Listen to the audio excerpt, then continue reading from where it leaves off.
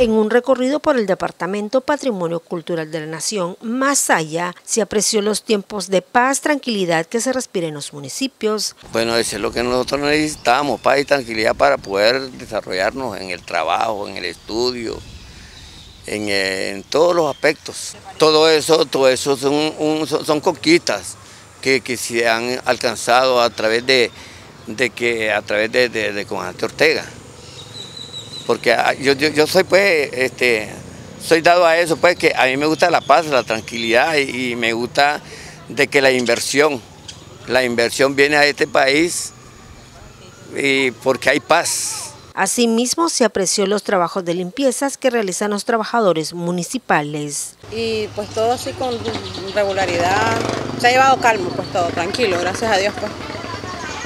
el llamado a para seguir así, continuar así? Sí, de que no incitemos a la violencia, pues, de que sigamos así como estamos, a dialogar, o sea, dialogar entre nosotros mismos, de que no sigamos más este, haciéndonos daño entre nosotros mismos, ¿me entiendes? Porque más bien esto nos afecta a todos, a todos, ¿verdad? Sí. Es tanto en el sector este comercial, empresarial, todo.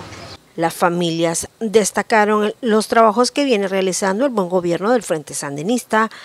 Les informó desde el departamento de Masaya Carla Sáenz Padilla, Multinoticias.